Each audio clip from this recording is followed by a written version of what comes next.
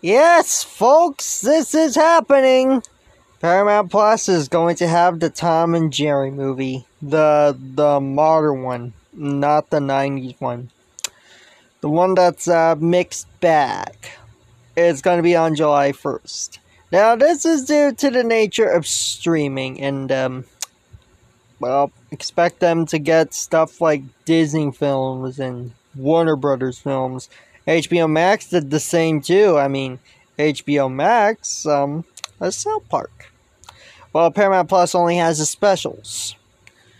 This really brings to an amendment that this is just the nature of streaming. I mean, there's these licenses. You'll always see different types of movies and shows being accessed, like it's it's kind of excessive. And Netflix, I can easily understand, but when you see these on other platforms, you think it's a bit off in a way to see the different services have different shows from different licenses. But yeah, they're gonna have the Tom and Jerry movie starting on July 1st. Who knows what will happen? Who knows? Maybe we'll have Space Jam A New Legacy to be on it as well. But it's something, I guess, for the Thomas and Gerald movie. Anyway, guys, this is Kawaii Life Antonio, signing off. Peace.